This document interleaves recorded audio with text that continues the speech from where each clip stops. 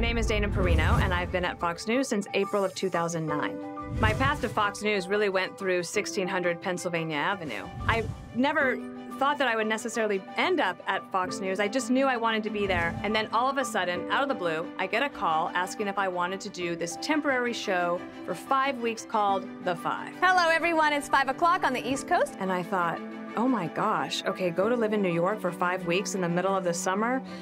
I guess. Well, I called my husband to tell him, and he said, Congratulations. I said, What do you mean? And he said, This is what you always wanted to do your entire life. And 10 years later, we are still doing that awesome show. One of the best things about being at Fox is that I've always felt that I could fully be myself. I've grown up with Fox News in my career, from the White House days all the way to now.